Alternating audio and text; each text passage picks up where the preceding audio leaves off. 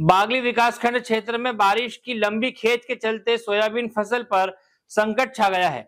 हल्की ज़मीन की फ़सल सूखने लगी है। लगभग एक माह से बारिश न होने के कारण फ़सल खराब होती दिखाई दे रही है। इसी को लेकर भारतीय किसान संघ के बैनर तले तहसील इकाई बागली और हाट पिपलिया के नेतृत्व में एसडीएम कार्यालय बागली पहुंचकर मुख्यमंत्री के नाम ज्ञापन सौंपा है। जिसमें मुख्यमंत्री से मांग की गई है कि अतिशीघ्र ही सर्वे कराया जाए।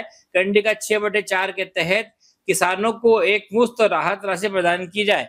ज्ञापन में बताया गया कि किसानों द्वारा बड़ी उम्मीद के साथ सोयाबीन फ़सल लगाई थी। महँगे दामों में बीज भी खरीदा था। ऐसे में किसानों के ऊपर संकट छा रहा है। सरकार को इस ओर ध्यान देना चाहिए। वर्तमान में चुनावी समय में प्रदेश के मुख्यमंत्री अन्य वर्ग के लोगों को कई सौगातें दे रहे हैं, लेकिन किसानों की ओर कोई ध्यान नहीं दे रहा। यदि समय रहते जल्द ही किसानों की मांग पर ध्यान नहीं दिया गया तो किसानों को मजबूरन सड़कों पर उतरना पड़ेगा। बागली से रोहित पाटीदार की रिपोर्ट। सोयाबीन की फ़सल में बारिश की लंबी खेच के कारण फ़सल सूख गई और ख़राब हो गई।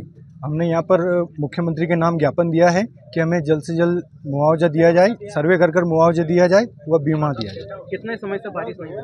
लगभग एक महीने से ऊपर हो गया पानी गिरा हुआ। क्या स्थिति है सोयाबीन लगभग सोयाबीन तो ख़त्म हो गई है पतली ज़मीन की तो ख़त्म ही हो गई है उनकी जड़ भी सूख गई है और मोटी ज़मीन की भी लगभग सत्तर परसेंट तो वो भी ख़त्म हो गई। यदि समय रहता बारिश नहीं होती है तो क्या स्थिति बनेगी? वो तो पूरी फ़सल ही ख़राब हो जाएगी उसमें किसान को कुछ नहीं मिलने वाला है।